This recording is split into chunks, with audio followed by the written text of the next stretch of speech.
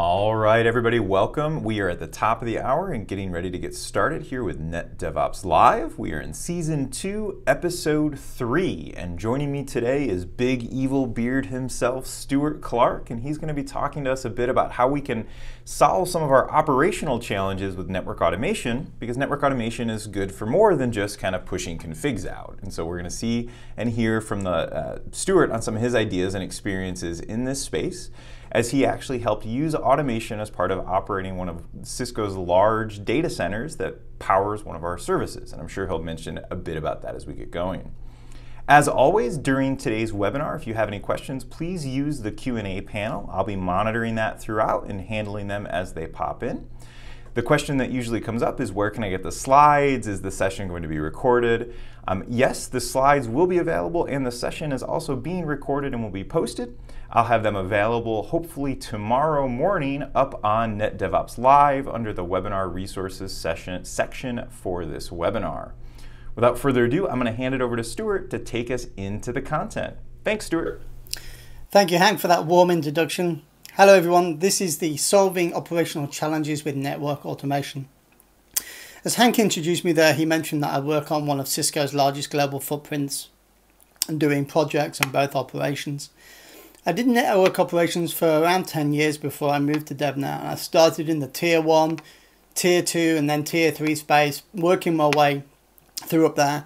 And so I really understand how challenging it is when you're working in these kind of roles, any form of operational network role of how you really don't know what you're going to be facing that day when you come into the office, when you pick up the phone, or when you see those tickets kind of come to flow in through the various support channels that we get. And throughout this session, we're going to look at some of those things of the why we should do this, the how we should do this, and then we're going to close with a demo right toward the end. So let's move on to our agenda. Before we start today's session, I'd like you to complete the um, uh, some feedback for us, if you may, uh, by following the link. Hank will post this today in the in the chat space. This will give us some great feedback and help us track the Net DevOps live interest and the sessions and the feedback and help us deliver the content to you. So what are we going to talk about? I've listed this in three different sections. I've listed it as Who Moved My Cheese, Rinse and Repeat, and Demo Time. Who Moved My Cheese? You may think this is a kind of a strange uh, title for, for network operations, but I read this book around 1998 um, and it's a motivational business fable where there's uh, four characters to this and they live in a, a maze and it, it, represents everyone's environment and the way that um, you look for cheese and the cheese in many ways is your operational goals of what you see in your in your day to day and it res- res- represents the happiness and success of how you're able to navigate through those things and achieve closing tickets, helping customer support here. And within that section, we have the learning services and getting context. When you start to automate some of your daily tasks and your daily workthroughs in operations, you kind of have to look at that low hanging fruit to find out what it is you really want to automate. Then we look at the largest source of stress. This is again the sort of the stuff that kind of keeps coming around. It never really goes away. It kind of pops around. It might come around in your case every day. It might come around once a week or it might come around that Friday evening on a Friday when you've got something planned. It's the end of the month and something comes in and you know it's going to take you two or three hours to achieve that result to get that information. So it nicely moves us then into the next section which I've entitled rinse and repeat is twice too much. And what I mean by that is, if you're doing something manually twice, should you then automate it straight away? Now, I've read many things about this of how many times you should do it before you should automate it. And one thing that I read recently was that if it took someone longer than 90 seconds to do manually, you should perhaps automate it. That might be a little aggressive for some, so I'd like you to ask yourself, how many times do I have to do things manually before I would actually consider automating that challenge? And then what we want to do is automate the boring stuff. I kind of spoke about this in the first little glimpse there where we was talking about the largest sorts of uh, sources of stress. But we want to automate those repetitive tasks again. That kind of, again, the low-hanging fruit, the constant sort of requests, and we want to make this into a more of a self-service model, which enables others to be able to grab that information for you. And then we'll move into everybody's favourite part, which is the demo time, and how to actually codify all of those things that we've spoke about in the above sections.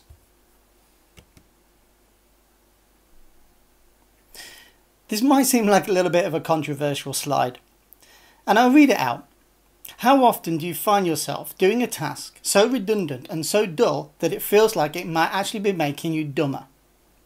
Well, you don't like to really get above your station, or we don't like to let ego in infringe on our daily jobs. We're there to do something, we're there to perform tasks. But going through those tasks, you could be logging into devices after devices after devices, and it's repetitive. And while the first few times that while you're doing this and gleaning this information off, if you're doing this on a constant daily basis, you can find this quite tiring. And going through these things and getting this information and copying it into various data sources, whether this might be tickets or passing the information to somebody else. And if you spend a number of days doing this, if you're on a large network estate looking for the versions or looking for SNMP or looking for the alignment of NTP to make sure you've got all the right servers or even all the right users across your devices. You can be going through things and it can be quite tiresome and you can sometimes come away from your job feeling that you actually haven't achieved anything that day. And we want to move away from those kind of things. And so these are the tasks that we really want to solve. We want to simplify our operations to gain speed, agility and efficiency. We want to be able to produce quality information, accurate information to, to the people requesting it. And this goes into the delivery, delivery and relevance of customized services that address our consumer needs. And you might think to yourself, well, I'm the network engineer for a, a company. We don't have customers. This is an internal network. But the customers to you, as was reminded to me a number of years ago, are other teams. Teams like SRE teams, architecture teams, security teams, managers. They are your consumers. They are your customers. So even though they're not external to your business, they are still your customers and they still need that information delivered reason- on a reasonable time scale and they need it to be accurate. The final thing we need to do is support tremendous scale and resiliency.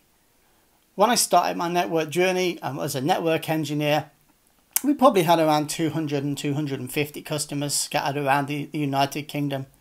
When I moved into my next job, that scattered around into being sort of like about 5,000 sites across the United Kingdom.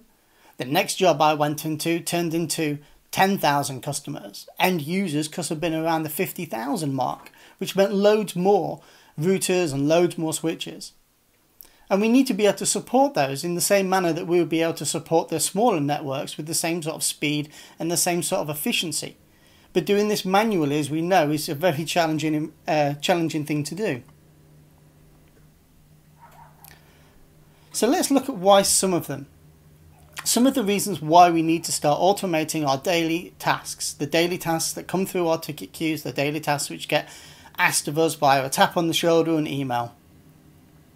When I spoke in that first slide about the tasks that you may find the boring and repetitive stuff, as an en engineer, this could be a wastage of your skills and resources.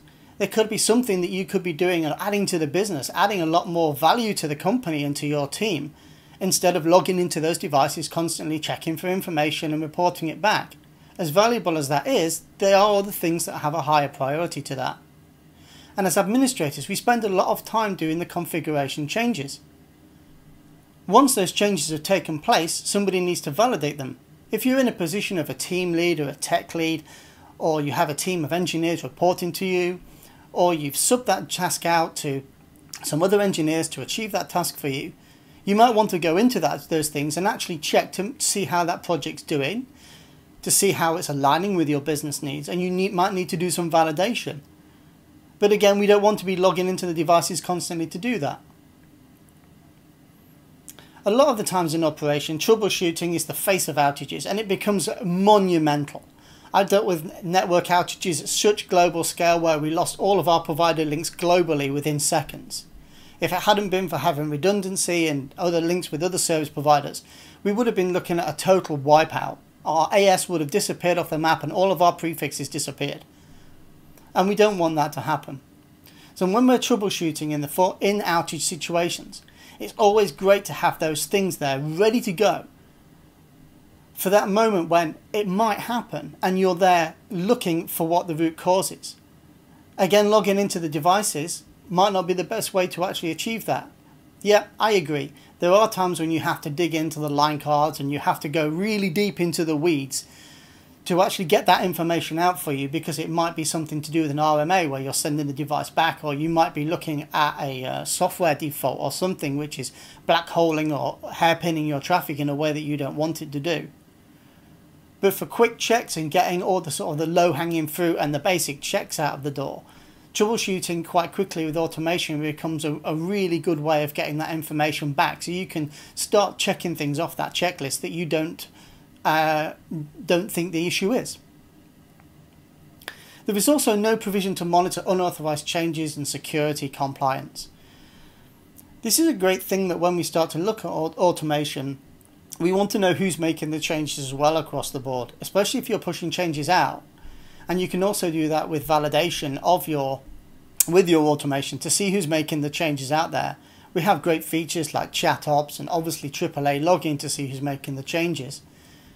But it's really good to see who's actually doing that and checking the security and compliance around all of these things. If you're working in a global scale team or there's 10, 20 different engineers and you're all making changes, it becomes very difficult to keep track of all of those configuration changes. We like to baseline all of our configurations so anything that is of the norm sticks out kind of like a sore thumb straight away and we're able to spot it. But this is quite difficult on the human eye, especially if you're looking at, say, 2,000 lines of CLI or, you know, huge volumes of ACLs or, you know, large changes, large BGP configurations or something like that. You want to be able to see those changes and you want to be eyeball those changes and be able to make and determine what was causing the problem or what changes took place. Because you might be one looking to roll those back.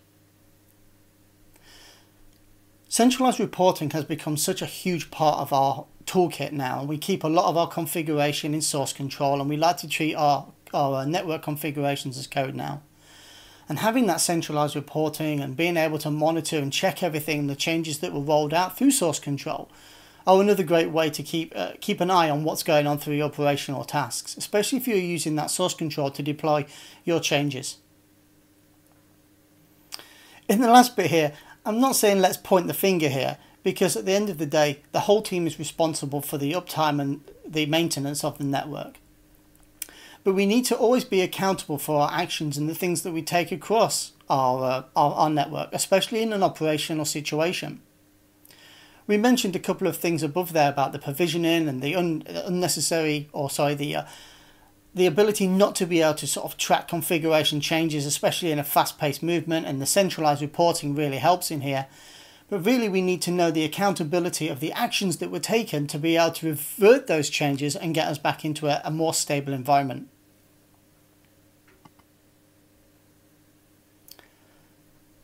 The tasks we are going to solve. I mentioned a little bit before about treating our network infrastructure as code and this enables us now to treat our network configurations just like software code. And there's different formats to keep these in. You can keep them in Jinja templates or you can keep them in Ansible playbooks.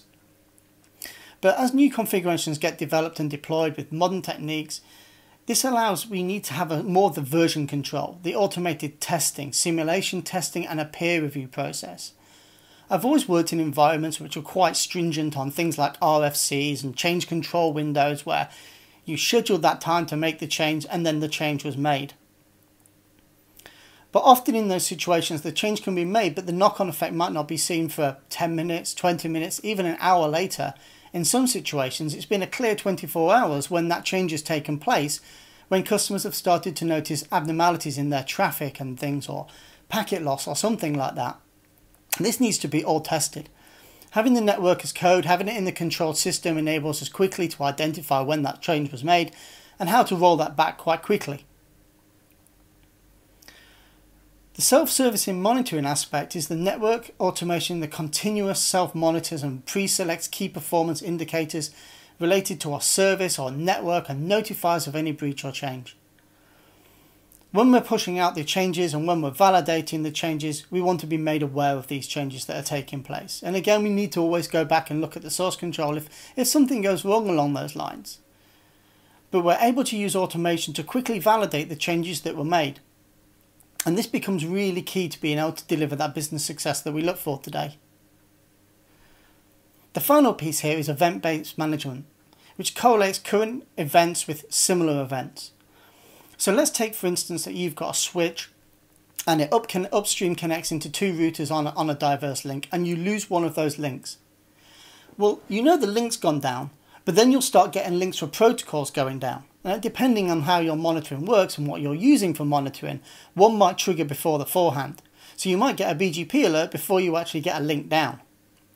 And if you think about all of the services which are running over those links, like applications and hosting and all of those things, they will all alert as well. So what we look to do is we look to correlate all of those links so that if that link does go down, we then look at the, sum- the similar things which have created that domino effect to create the multitude of alerts which are now hitting us. So we only really need to know the most important thing. And for here, in this case, the example that I've given would be the physical link. We know if the physical link goes down, our BGP peering over that link is likely to go down as well, right?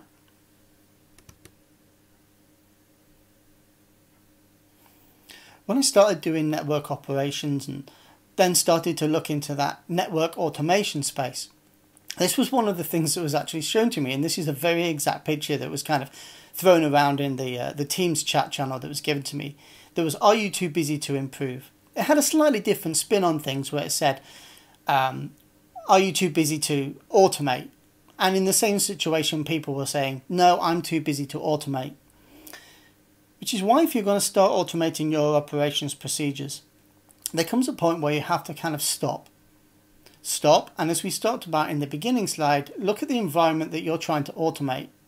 And if you really are that busy, you will see that the benefits of automation will really outweigh the sort the slight pause that you have to take to get that operation and, and the skills and the code up to scratch to make the business align a bit more smoothly. Once those things are in place, you can then constantly improve on your automation um, checks, your automation scripts to be able to deliver that. And then you're left with a bit more free time to keep developing all of those things.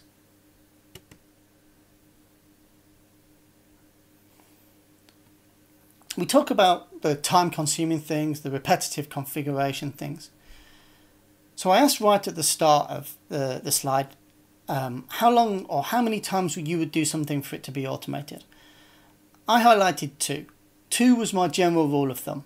If I was doing something more than twice and it was coming along to more than twice, I wanted to automate it. And you can run the automation enough times to spread out the cost of creating the automation capabilities. When I talked about the business case in the previous slide, this became, you know, being too busy, constantly firefighting and things like that, constantly having to do the checking and things for other teams. If you can build the automation around that and break down those silos, you're going to make sense of the automation. It's going to become a really, really great business case. So, for example, if I'm going to do this task X times in the next year, will it take me a couple of hours of writing, testing, and updating a script to add to my bag of tools? I was reading that thing when I said about the 90 second rule earlier, where if it took somebody 90 seconds, they'd slowly automate it. And I had a look through that person's code repo, and it was quite good of what the things that they'd automated through there for some of the things that they saw as their repetitive tasks. Your repetitive tasks and my repetitive tasks will always vary. All of those things will differ from business case to business case, but there will be some kind of similar vein in there where other teams are trying to achieve the same things that you are, or they want that same information. And so by collaborating with other teams to find out what that low hanging fruit is, to what the uh, development and testing and the ongoing maintenance code is that you can write, you can really cut down on the amount of time that you'll, you'll spend doing, doing that hand to hand combat fighting. Each automated execution has a lower cost than performing the work manually. Well, this is true. When I mentioned before about one time when it took me three days to get all the information that I was being requested for, that was actually true. Now, if you think about the amount of time that it would have taken me to do that based upon how much I was being paid per hour and that it took me three days to do that, If I was able to build that script out in automation, I could re- dramatically reduce the overall overhead and cost that the business was going to take for me to actually run those scripts. If I can get the script and get the information back in a matter of minutes, or even an hour perhaps, the cost saving there becomes invaluable. And this is what we call the anti pattern that every time we run the automation, you end up spending more time tweaking things because of the environment or process keeps changing. So you constantly have to adapt those things. And we're going to look at those little things a little bit later when we come to the demo of how we can adapt there.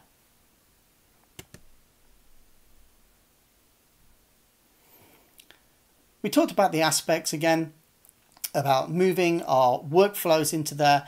And the graph on the right hand side kind of sum summarizes for me the post check, pre check, execute, if any issues were encountered, we roll back. And that's always something that I'm really passionate about is having that rollback in place. The rollback really only comes into place once you've done your validation and you want to pinpoint that the actual change you made was the actual root cause. I'm sure you've all been in a situation where you've made a change and then an hour later some outage has gone ahead and then you thought to yourself, was it me who actually caused the outage? You might have had pressure to even roll that change back that you made and then you had to prove that it wasn't the change that you made that caused the outage. And by using automation here and to, uh, to validate our checks through automation, we can be confident that the change we made hasn't caused the outage. So this leads us into the change in network device configuration, the change in services configuration, and then finally the maintenance window work of orders. This all plays the key part of the running order that we take when pushing all of our changes out and then validating those changes operationally across the board. It might not necessarily actually be you doing the validation at the end of the day. There was a number of times when I was making changes where I would make the change, but I wouldn't have the methodology to actually be able to test that. From the network perspective, I could see it was working fine, but at application level, the change that I made might not be working so fine. Having automation to be able to do those pieces, like the other teams have, in our tool belt becomes a key thing to be able to do the change. So if I'm making a change for another team now, I always ask, how are you going to test that change? How are you going to validate the change? Because you could put the change into the workflow, into the ticket, and then the other team might, might be an hour or two hours or even the next day before they validate that. And in that time frame, there's been issue, there's been issues and there's been tickets raised and there's been perhaps latency or packet loss or something or an application has stopped working. So by doing the validation through that with other teams and looking at their workflows as well, you can then truly deploy your changes with confidence and then validate them, knowing all full well that the changes you're going to make aren't going to cause you an outage. Now we're going to move into the really fun part, and this is the demo time. So the demo that I want to present to you today uh, is working through some of those network changes and how we actually how we actually achieve those. And what I'm going to walk through here is, is how I actually built those. Um, let me give you the uh, topology first of all. Let me just bring up my terminal. So you'll see how I'm using um, the DevNet Sandbox. I do a lot of my testing, a lot of my development, and nearly all of my demos now in the DevNet Sandbox. I'm using the multi-node uh, uh, VIRL instance here and I have three devices and you'll see that they're the uh, CSR 1000 Vs. And I've simulated a customer environment with two upstream peering um, devices there. Let's say service provider 1 and service provider 2 and I want to start pulling information back from those devices.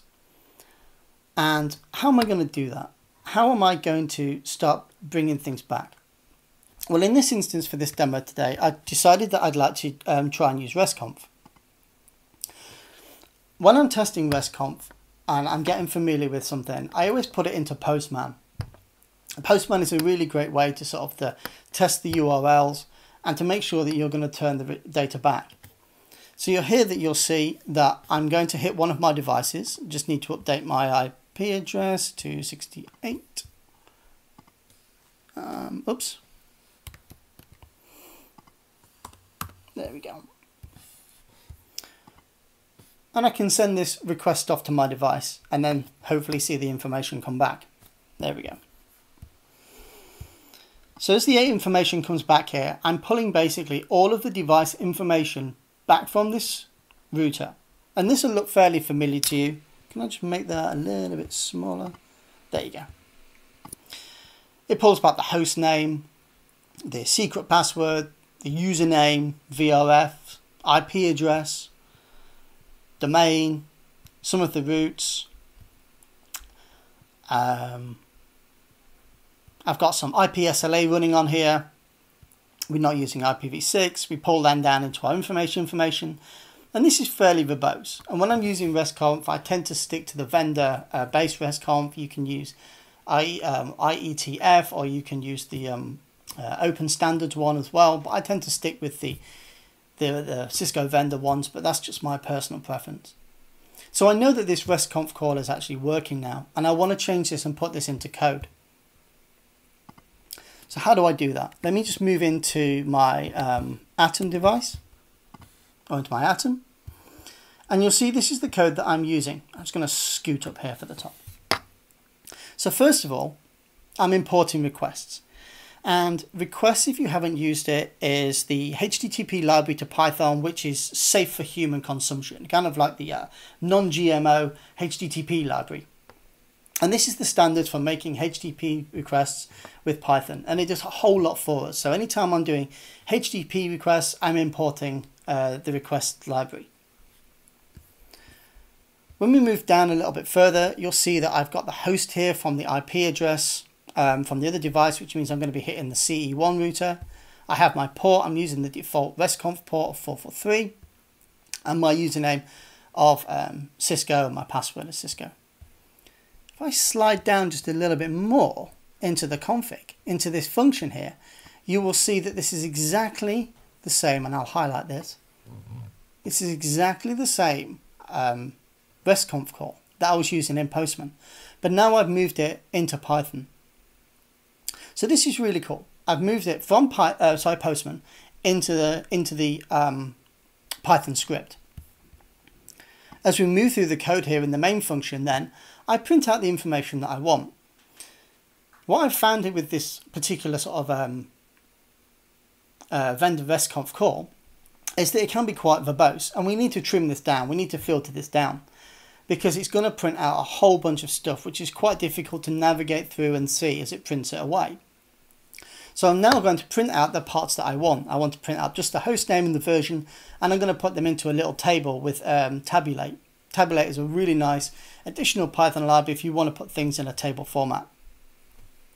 So if I jump back over to my, uh, my bash script here, and then I'm just going to run that same script,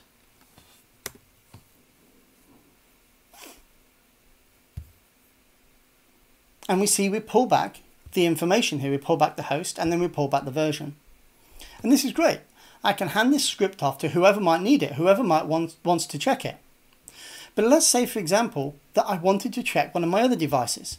If I hop back into here, you'll see that I was hitting the uh, device CE1, which had a ending IP address in 68. Now I'm going to have to go back into my script if I want to retrieve the information back for PE1 and change this to 69. So I'll scoot up here, I'll change this to 69, I'll save that, run back over here, and run the script again.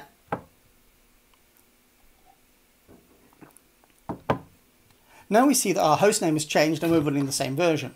So this is great. We can see that our hostname, or our host CE1 and PE1 are running the same code version, which is what we want. I've only got three devices here, but going back into this code and changing the IP address is going to get quite tiresome time after time. Now I've written some other scripts which do the same sort of thing. If I look at these, these are ls, I'm just going to grep these out as get. I've got one which will get my BGP information, my device information which we saw, and my interface. So just for clarity, I'll run the BGP one now as well. And we'll see the information that we get back here.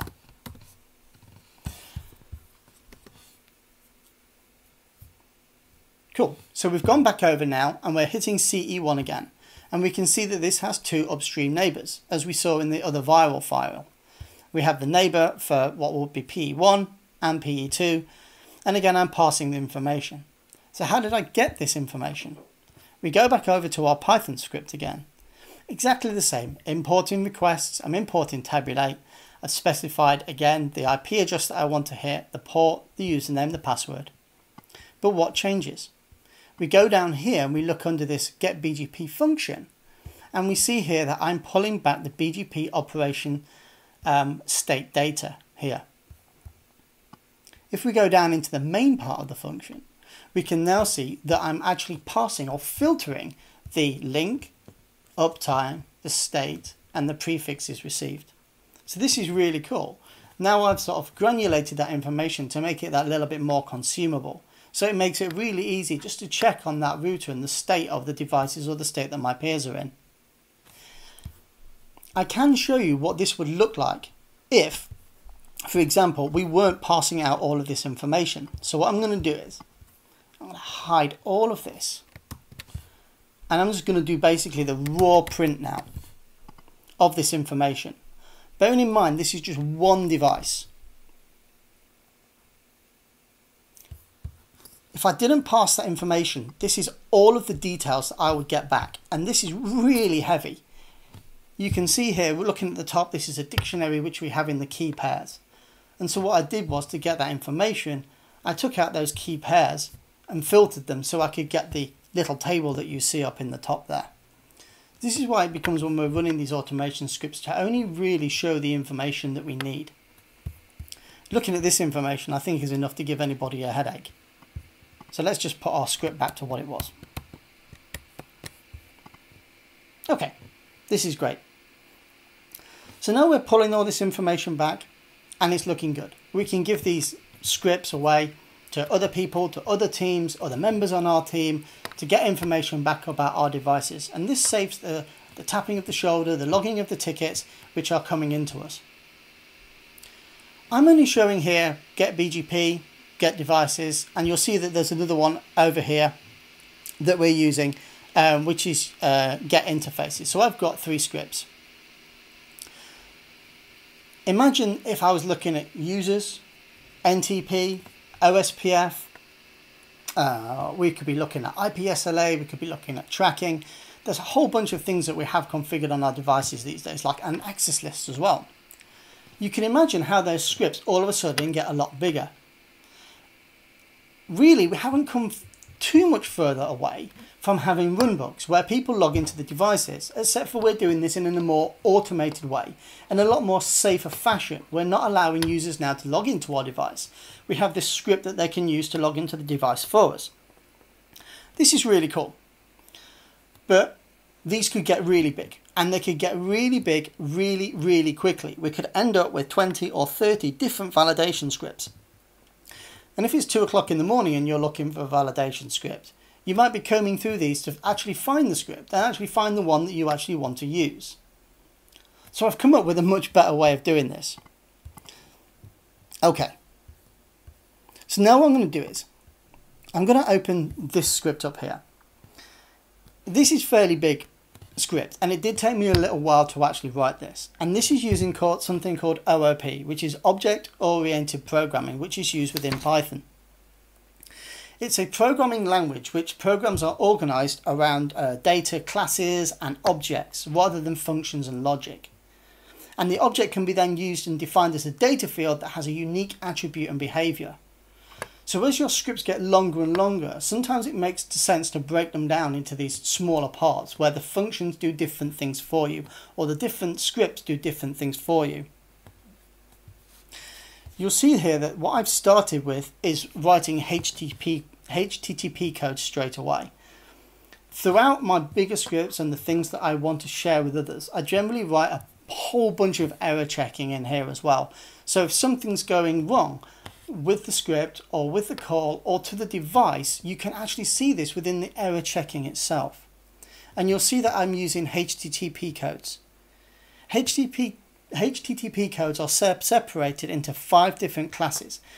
And the first two, uh, the first digits of the status uh, class are the actual response, with the last two um, where they don't have any class or categorization to the role itself.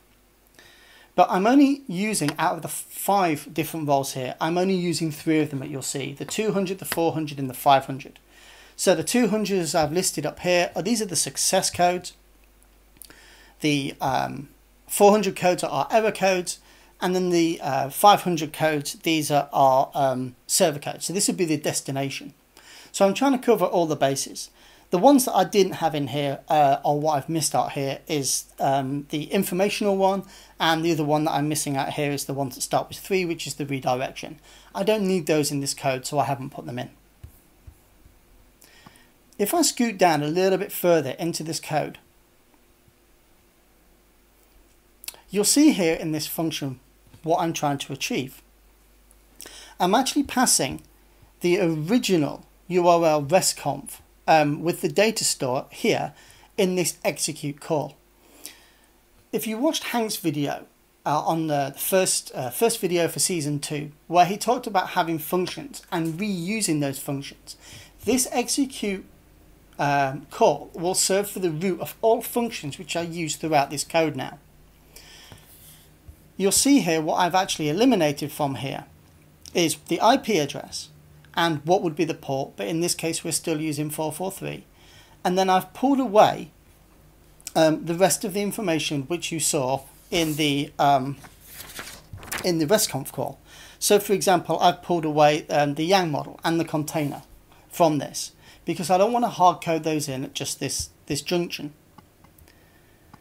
As we go down in this method, you can see I've actually pushed in um, the operations of here, the HTTP operations, the get, patch, and delete, because I want this code to do a lot more for me than just um, just check data. I want it to also be able to roll back changes and actually push out changes as well. So this code serves as kind of a multi-function check for me to be able to do all of these things. So I have the different methods listed there as well. I'm going to scoot down a little bit quicker. On the previous code, I showed you the get BGP for getting BGP information.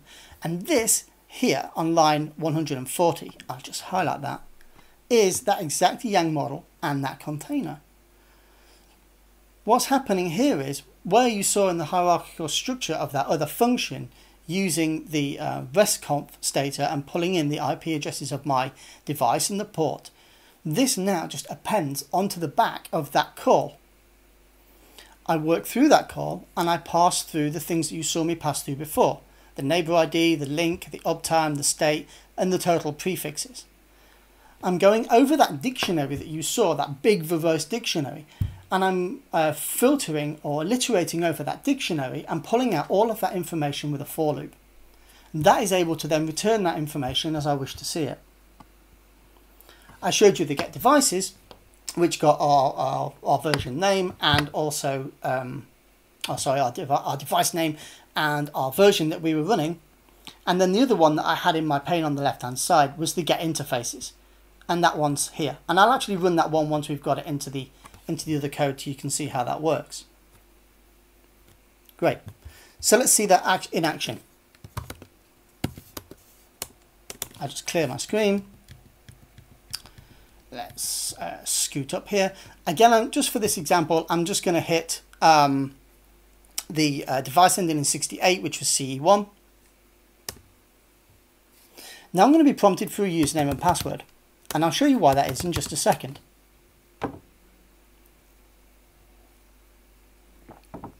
Great. You'll see this is coming back in a JSON format.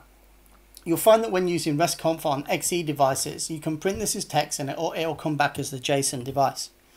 Because I'm using RESTconf here, um, RESTconf can use both XML and JSON. Um, my personal preference, I prefer RESTconf just because it pushes the information out. It's a little bit faster um, and it's a little bit, um, it's less verbose than XML. So I'm able to pass through that a lot sort of quicker by using JSON. And I find JSON again a little bit more sort of friendly on the eye. Okay, really cool. I'm able to get this information back and I'm actually using that code to do that. Again though, if you look at the, the actual syntax that I typed in here, I had to specify the IP address. And if I wanted to look at another device, I'd have to change the IP address. Now I can get around that in a little bit. But what I want to show you is the actual code which underpins this and how I'm able to pass the IP and this function now to be able to get this information. just for clarity, let me just run the BGP one on the same on the same device. Username and password. There we see those two neighbors that we saw before. Okay. This is good. We're getting all the information back and it correlates to what we saw in the single script that I wrote. So let me jump over into this code here. This is the main code. This, this code up here, which is named iOS XE REST API, this is my main code. But how I actually call this code is actually written in this file now called router, um, router py.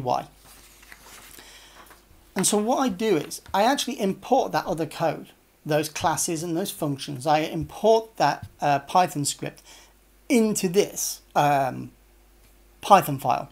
And you can see from here, I just import that. Now I'm importing a couple of other things here, and it's this one, and this is really magic. This is called Click. Again, if you saw Hank's, Hank's um, video right at the start of the thing, he used argsparse. And if you're familiar with argsparse, Click works in a very, very similar way, um, where you're able to pass commands directly on the command line. You saw when I was doing that little bit of a demo there beforehand that I was actually passing the IP address, but we can pass a whole bunch more of stuff. Um, incidentally, CLIC stands for Command Line Interface Creation Kit. Um, and it enables you to type the commands in as you see them or have commands in there that are already expected. You can see those starting here at line 15 where I define this click group. And under here, under this click option at line 17, I am specifying that IP address where you saw me put dash dash IP. I don't have to put dash dash IP, but this is just the format that I've become accustomed to working in, so I type this in. I've got a few other things in there as well, but let me show you how the click, you can actually interact with those click just on the Python shell before we see how the other options actually work for us. So what I do is, I go back to my original code here, I specify the router info, I remove the IP, and I've got this built-in help function. A little bit earlier, I said, what happens if you woke up in the middle of the night and you didn't know which script to run or where to get that script from? Well here, if you look on the commands section down here on the left hand side, you'll see now that I have the BGP, the get interfaces, and the get devices. They're all there. And I've got this little description in here which tells me what to do as well. I also have the options up here. So for example, if I miss something out when I'm actually calling the script, for example, say I miss uh, the IP address out, and I just try to run the, the get BGP, it might prompt me for the username as it starts to work through. But what is going to happen is it's going to crash out and it's not going to actually run the script. Let me just clear some space there so we can see that. Cool. Okay. So we talked about the IP here, and you can put in the help function here, which prints the IP DNS of the address, and you can customize these and put whatever you want in here.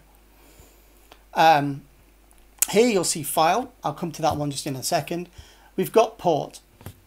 Uh, as I mentioned before, we're using uh, RESTconf using the default uh, 443 port. But there are times where devices run non-standard port, where you might be doing some port forwarding or something. And what we want to do is we can change that port and we can specify that by using the, the sort of like the, the double lines and then specifying port and then entering a new port number in there, like 9443 for example. But here you'll see I've specified the uh, default. The username and password is a little bit of a nice one. You can actually hard code those in and pass them exactly like I did with the, the 443. But in this instance, I've decided for this to be prompted. I want to know who's logging into my devices and not just using a default, say, admin admin password. You could tie this back to SSH and not have this function actually in here and people log into their devices with their SSH keys. But in this case, I'm just using asking for the password to be pushed in here. Now comes the magic. And this is the really cool bit. This is the bit that I really, really like about this. And I'm just going to use my get devices as example. Here in Click, we have the main dot command, and we run this using the get devices, and that is the get devices to actually initiate the actual call that we want to make to our devices. We pass this as an object, and then we refer to the function that we saw in the um, uh, the original, the big piece of code here, that function, and that will actually call the function from the previous piece of code that we saw. Uh, this piece of code here. I'll just jump to it, and it would be uh, get devices. It's going to run this function. Now remember that this is also hierarchical as well. So our router underscore info Python file goes from running there in click and goes back into this particular Python file and then goes and takes the um, data store in the container and then goes all the way up to the top here to actually run the restconf call. So if I go back over to this and scoop down to get devices, we go through the for loop there and in that for loop we get the devices. And this becomes a little bit more complicated when we want to do one or two devices. And this is what I was talking about when I specified the file when we was looking at our other scripts we were going in and changing the IP addresses and when you saw me run the uh, get BGP using this object oriented uh, Python program you then saw me hard code the IP addresses in there as well but let's say, for example, we want to make that a lot more dynamic. And also we want to retrieve information from a whole bunch of devices, not just one device. And we want to do this at one time. Can we do this with our program here? Yes, we can. If I scoot back up here to this file that was running, oops, slide over, here. You'll see that I gave the option for a file. Now here by doing that file, if we go down just a little bit further, I'm actually opening a file here. So I'm saying in my main function here that if I see an IP address run through the program, else we're going to look for uh, a file. And here is that file. Really easy to write, nice and simple in following a JSON format with our three devices.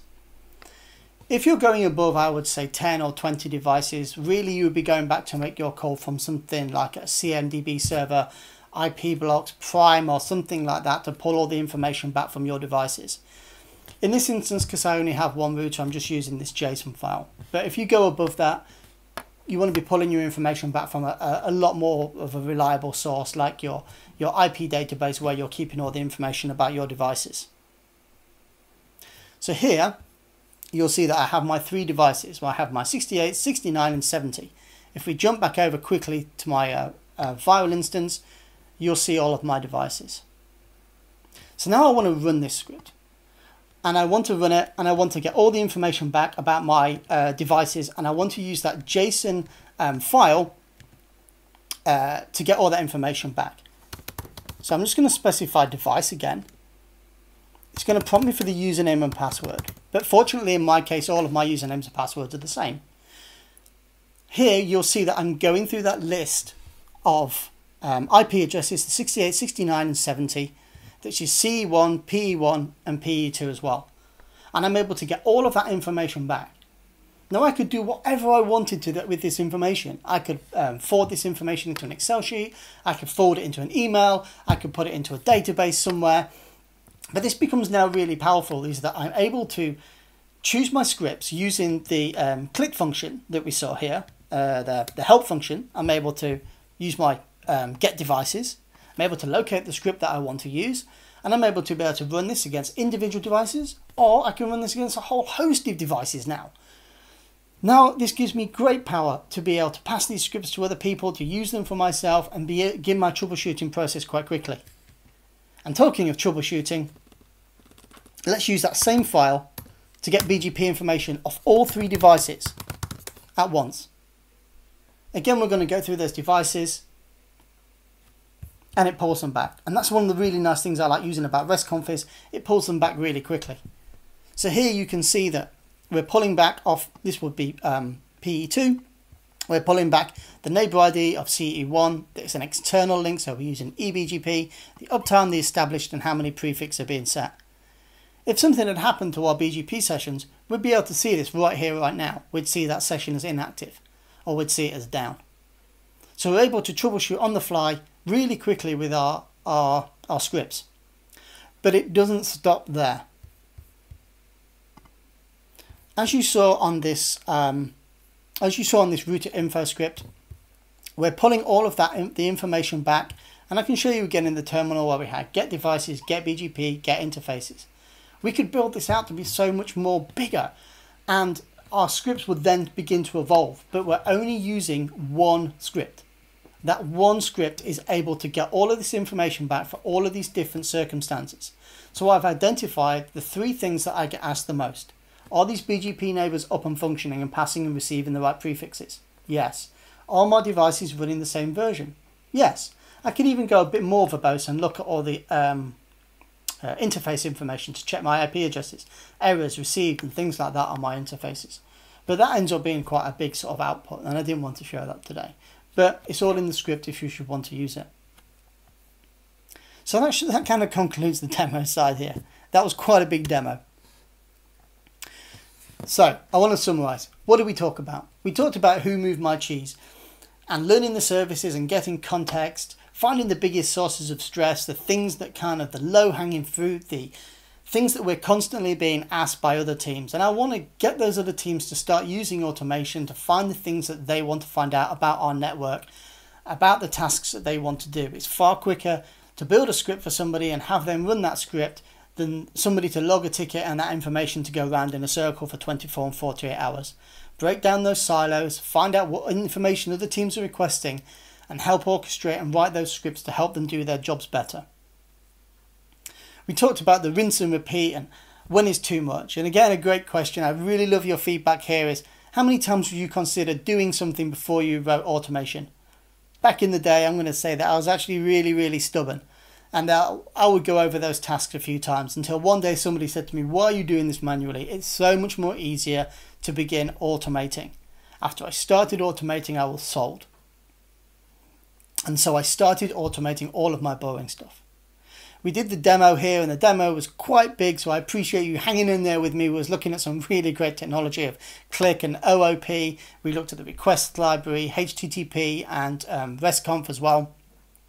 And we walked through that entire process of building that code in Postman looking at the RESTconf calls transferring that into the single script and then building it out to something a lot bigger something that can be deployed across multiple devices and can be shared amongst different teams and becomes expandable so that when your network automation skills get bigger and people ask you to build in different functions and different features and different checks, you're only updating one piece of code. You're not reinventing the wheel and rebuilding code all the time. You're just modifying and updating that script. And it's great to say to people on your team, we've updated this script and now you can see these things and this is the things that you will see via this script. We've added more information for you to be able to codify your day job better. As mentioned at the top of the hour, we publish all of the code and things for, on this that you can find. And here's some great webinar resources and links that you can go through, which will, start you off on your RESTconf journey and using Python. I've got a link in there to the multi uh, IOS VIRL sandbox, which I use today, which is free for all you guys to use with your DevNet account and the code samples you can find on my repo right there, right at the bottom. If you're looking for more about DevNet, DevOps, hit up this slide with a whole bunch of great links for you to um, find all the information that we're talking about in the DevOps series and the video links here and the you'll be able to get the PDF and all the resources for your for yourselves on all of these links here. So this is where I like to issue a little challenge right at the end of the thing. If this is your first time seeing Click for the first time, have a go with this. The Click documentation is really, really cool. And so an example of this is for printing text, building standard options which will take a string as an input. You saw me there pass a username and password and IP in there as well. You, you can use click to pass those things to the command line and that's a great way to get you started by using CLIC. CLIC can be quite expansive and it can do many things for you to help make your day job easier and using your automation scripts as well. Once you've built those, please put them on Code Exchange. If you've got more questions, please stay in touch. I'm reachable for all the content that you've seen today on all of the de details on the left hand side. You can follow me on TwitHub, uh, sorry, TwitHub? Twitter or you can follow me on GitHub where you'll see all the code that I've used today. All the resources that we've used today are also on Cisco DevNet and you'll see me there sailing into my boat. And with that, I'll bid you farewell and sail off into my boat into the sunset. Great. Thanks so much for an awesome webinar, Stuart. The example, um, you apologize for the demo. I don't think that apology was necessary in the slightest. What was awesome about it was kind of seeing the process that you build and how it took it all the way to the end to making it a usable tool you can share with the rest of the team. And so I think everybody got value out of it. We had lots of comments and questions coming on looking for interest in the code. And as mentioned, it is available up on Code Exchange and GitHub for folks to take a look at. So with that, we're going to go ahead and close down. Thank you again to Stuart for joining us today, and thank you to all for joining us live. We'll be back next week for another episode of NetDevOps Live. Talk to you soon.